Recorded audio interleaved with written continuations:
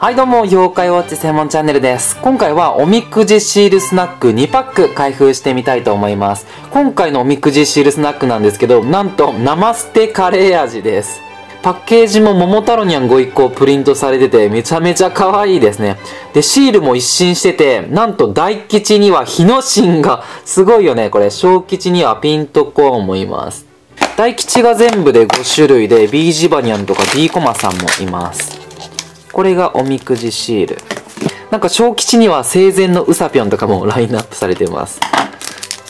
では行きます。1枚目せーの、ドンすごい大吉のヤマタン出ました。レジェンド妖怪ヤマタン。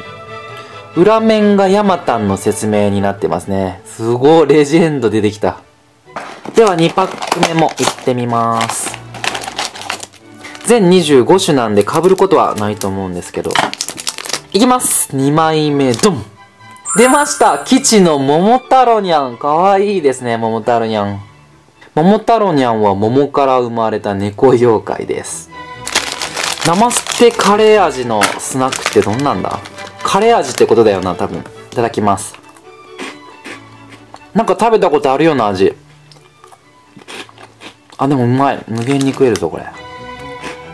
シールも新しくなってるし、スナックも美味しいし、結構これおすすめです。